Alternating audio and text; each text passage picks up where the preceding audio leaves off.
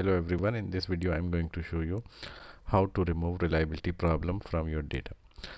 Ideally we should collect data uh, based on very sound adopted measures. We should also have conducted a pilot study and we should have uh, been very careful with the translation and the reverse coding statements.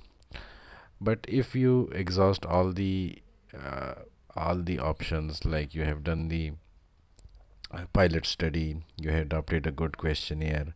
Still once you collect the data at large scale and you come back with the low reliability so how to solve this problem how you will inter intervene and how you will handle this?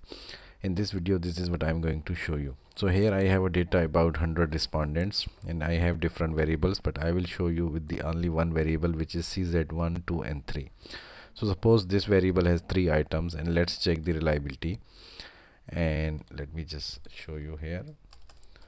So we just move it here and okay. And let's see the reliability is 0.365 which is well below the required value of 0.60 as suggested by most statisticians or uh, business research experts. So how we, we are going to handle this issue?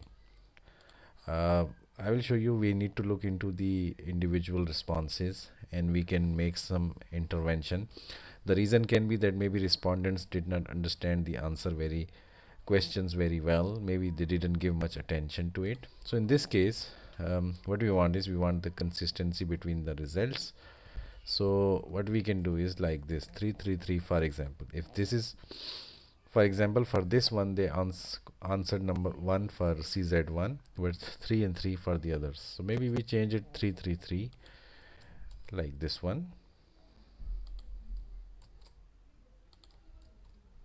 and let's try to make it more consistent. Uh, as we will change the options it will you need to maybe look into individual cases. And as we will be changing the reliability will be improving which I will show you in a second. Of course it will affect your actual results. Now your results are uh, not very genuine but sometimes you are left with no option. So I have made some intervention. Now let's recheck and see how uh, what is the level of improvement. So it's there. And as you can see it's improved from from 0.365 to 0.72 and just by I looked into the individual cases where respondents uh, made very different answers to the same nature of questions. So this is one of the reason for low reliability and we can change it like this.